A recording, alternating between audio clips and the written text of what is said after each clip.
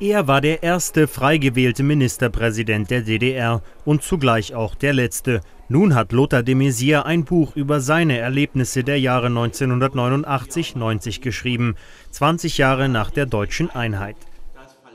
Nach der Selbstbefreiung der Ostdeutschen, die in dem Mauerfall zum Ausdruck kommt, kam dann der Prozess der Selbstdemokratisierung, auf den wir mindestens ebenso stolz sein können, dass uns die Demokratie nicht von außen verordnet wurde, sondern dass wir sie uns selbst erarbeitet haben.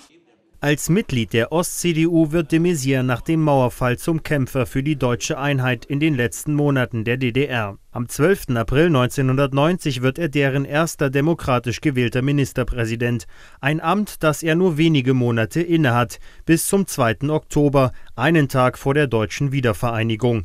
Die DDR-Volkskammer selbst hatte zuvor der Einheit zugestimmt und damit ihr Ende besiegelt. Der Beitrittsbeschluss vom 23. August Nachts 2.57 Uhr wurde er verkündet, nach einer dramatischen Sitzung, die nachmittags begonnen hatte und wo es hin und her ging und weil eigentlich das Hauptziel aller Abgeordneten war, wir wollen nicht nochmal den 41. Jahrestag der DDR erleben. So ist der 3. Oktober zustande gekommen.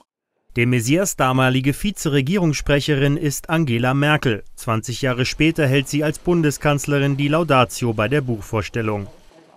Lothar de Maizières großes Verdienst war es, der DDR trotz geradezu überbordender Emotionen und Erwartungen der Menschen einen geordneten Übergang zur deutschen Einheit verschaffen zu wollen. Die Menschen mitnehmen und stabile Rahmenbedingungen für das Zusammenwachsen Deutschlands zu schaffen, das waren zentrale Anliegen von Lothar de Maizière. Anliegen, die mehr als nur verständlich waren angesichts der damals sich immer mehr zuspitzenden wirtschaftlichen und sozialen Lage. De Maizière hat seine Geschichte der deutschen Einheit vorgelegt. Die Erinnerungen tragen den Titel Ich will, dass meine Kinder nicht mehr lügen müssen.